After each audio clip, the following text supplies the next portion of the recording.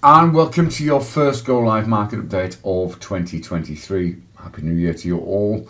Delighted to see you here as always, Senior Analyst Go Markets, to lead you around how the markets are starting this year.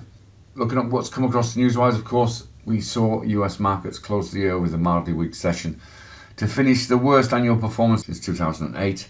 European markets that were open yesterday, including the DAX and the CAC 40, posted gains.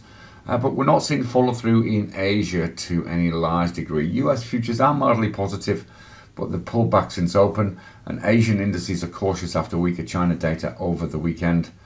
We've got the ASX giving up early gains and down around 1.3%. Just seems to continue to sell ever since that staggered open and European futures are pointing slightly higher at this stage. The VIX is near neutral, so a very mixed session so far today. The FX market is no different, very choppy in early trading. US dollar index is trading at seven month lows, uh, where it closed on Friday. We're seeing the Japanese yen strong this morning and most of the currencies weak versus the USD. Gold has broken 1825 and copper's also higher today though remains in a range. All is trading at monthly highs. Bitcoin remains below 17,000, is trading towards the low of the current range. We do have some key data out today. We've got manufacturing PMI data due out from Asia, Europe, and the US. Australian figures are already out and down on what was expected, though still marginally in expansion, i.e., over that 50 level. We've got German Eurozone UK and US data out later.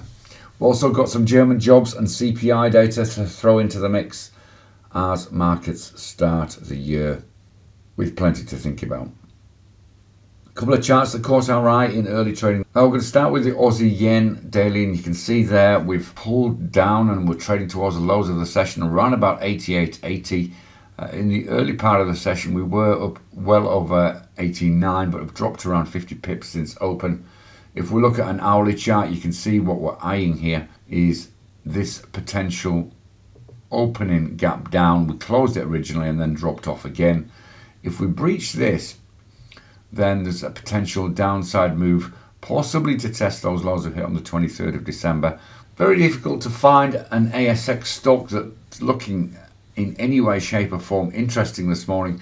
One that did catch our eye was De Grey Mining Limited ticker code DEG. You can see we did move up today uh, from a close of 128, only just over that by a couple of cents, but you can see we have already tested 132, which is a key resistance level. If we look back at the beginning of December and towards the beginning of November, a breach of this could be interesting and possibly one to keep an eye on amongst the very few stocks that are positive today so far.